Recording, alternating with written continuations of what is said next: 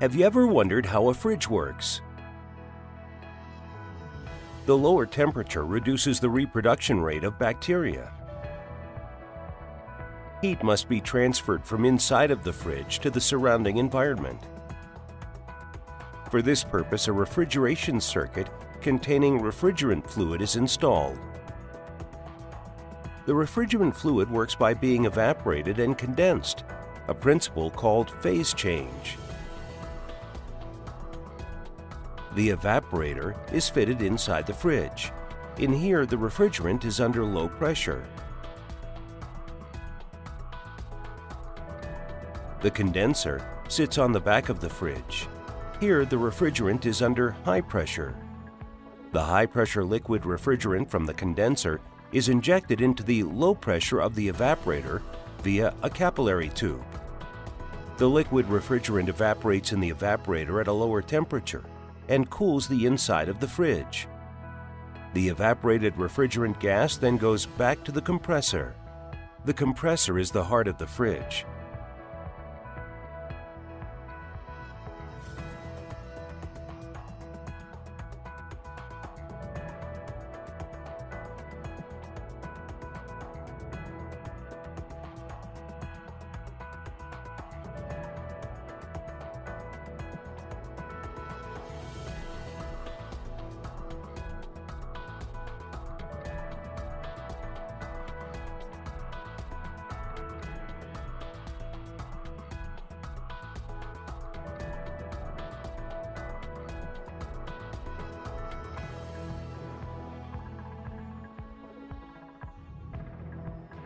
The refrigerant gas leaves the compressor as hot gas under high pressure. The condenser cools the compressed hot refrigerant and turns it into liquid. This is done by moving the heat through the condenser wall to the surroundings.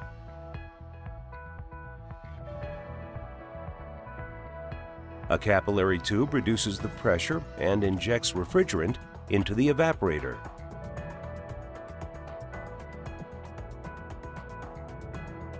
And then the whole process begins again.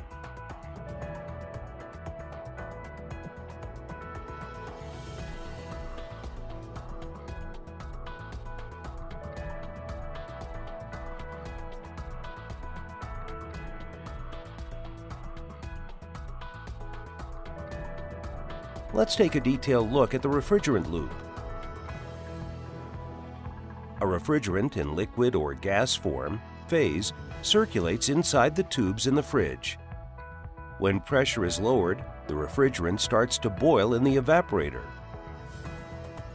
Heat is taken from the surroundings, making them cooler as the liquid turns into gas. As the pump compresses the gas, it heats up. When the gas reaches the condenser, it returns to its liquid state and radiates off heat. Now we have a closed circuit with a cold, low-pressure part and a warm, high-pressure part. To aid evaporation, the refrigerant is sprayed into the evaporator through an opening. Now, we have a complete closed circuit that transports heat out of the refrigerator to the backside.